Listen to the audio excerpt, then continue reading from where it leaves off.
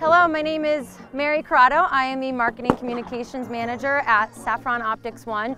We are out here at the First Spear Range Day showcasing our line of electro-optic and navigation systems.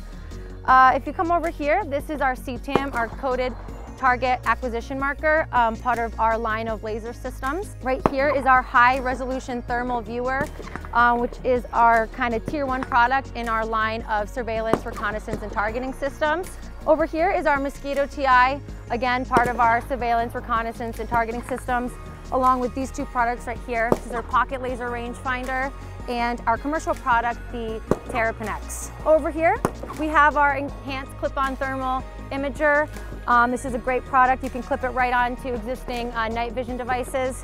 It can be used um, clipped onto the device or in a handheld configuration.